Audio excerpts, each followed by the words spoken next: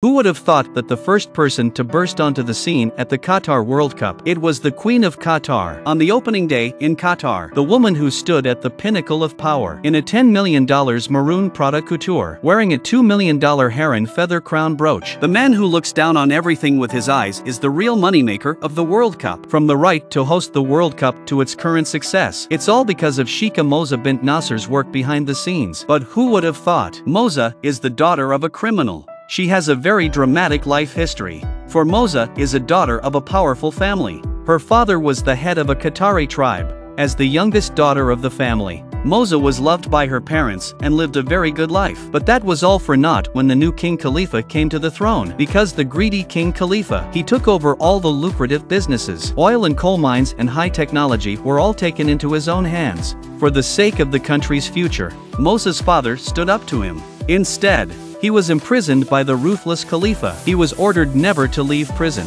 The ruthless Khalifa also ordered the family to be exiled to Sharia. The family was never allowed to return to Qatar. At the age of 12, Moza had lost everything and all she had left was her hatred. She vowed that she would return to Qatar. After six years of hard work and study, Moza was admitted to the best university in Qatar with honors. She came back to this place. It was here that Moza's life began to turn around. Because of her good looks and her ability to sing and dance, she was always surrounded by suitors. But she had more important things on her mind, so she didn't fall for anyone. She knew that Hamad, the son of her enemy, was at Qatar University on official business. Fate is a wonderful thing. When he was invited to the ball, he fell in love with Moza right away, and Moza knew that the opportunity to avenge his father's death had finally arrived. In the course of their time together, Hamad realized that Moza was not only beautiful but also very intelligent. Although Hamad already had a wife at the time, he told his father,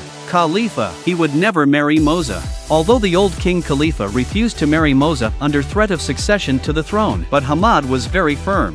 He even threatened the old King Khalifa with his military power. The old King Khalifa was forced to agree to their marriage. Originally, King Khalifa thought that Moza, an 18-year-old woman, would not be able to make any big waves, but the Khalifa's eyes were not quite right. She's the real moneymaker behind the Qatar World Cup, the world's most profitable woman. Moza, although Moza is Hamad's youngest wife, she is the world's most profitable woman. But Moza doesn't care about that, because she knows that the one who earns the money has the right to speak, to challenge the existing injustice. Moza became the first woman in Qatar not to wear a veil or a robe.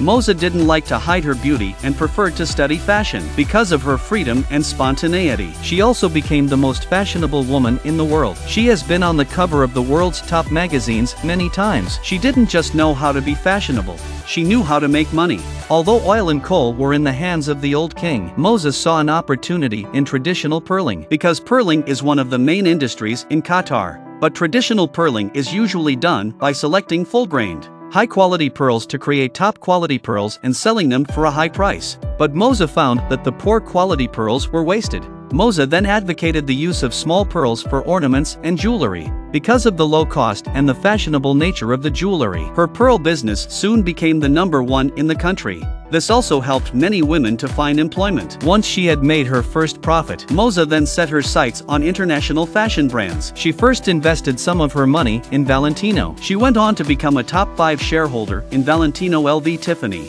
With money in hand and a successful career, Moza decided to rescue her father. While her father-in-law was on holiday abroad with her husband Hamad, Moza seized power in Qatar. They even had the arrogance to call the old King Khalifa, informing him that I had inherited the throne and that you should stay abroad. Then Moza's husband Hamad became the new king of Qatar. Moza herself became a royal consort. Once everything was settled, Moza finally freed her father, who had been imprisoned for over 20 years. The richest place in the world, Qatar. Middle East, Qatar has invested $300 billion in the World Cup to make it a prestigious event. 300 billion has been invested in building a desert city. The cost of this World Cup is more than all the previous World Cups combined. In order to maintain a constant temperature, they've air-conditioned every street. They built a cruise ship with a capacity of tens of thousands of people to host VIPs. On the night of the opening ceremony, the streets of Qatar were like a luxury car show, no less than Dubai. The average person here can earn $3 million a year if they don't do anything every day.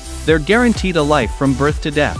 With no money for medical care, they don't have to pay for medicine, they don't have to pay for school, they are even given a house. But these privileges are only given to local Qataris, thanks to their queen, Moza. After Moza and her husband ruled together, Moza didn't use her power to do anything wrong. Instead, she is thinking of better ways to develop the country. Although Qatar's coal mines and oil account for more than half of the global market. But there was always going to be a time when this energy source would run out. So Moza exchanged all the oil and minerals for dollars, investing extensively abroad, buying real estate everywhere. She has properties all over the world. First she built the Shard in London. Then she set up the number one luxury department store in the UK. She even spent 900 million on the London Olympic Village to turn Qatar into a tourist city. Moza spent a fortune building four of the world's finest art galleries. She also exhibited all the paintings she had collected over the years. Moza had a great sense of style. In just two years, the artworks had increased in value significantly. Many art lovers came to Qatar to visit. Qatar's tourism industry was growing. In order to raise the country's profile again, Moza also competed with Japan, Australia, South Korea and the United States for the right to host the World Cup as Qatar's representative. When it was announced that Qatar had won the competition, Moza was so excited that he hugged everyone because Moza knew that with this World Cup, Qatar's fame would become even more global because it was the first Middle Eastern country to host the World Cup and Moza finally lifted the veil for the Middle Eastern girls with his ability. So what do you think of today's video? I look forward to your comments and responses. We'll be back next time.